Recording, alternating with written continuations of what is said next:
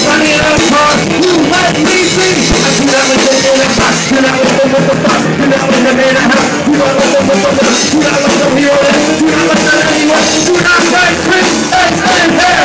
Do not write them. Stay high. Four, three, two, one, word.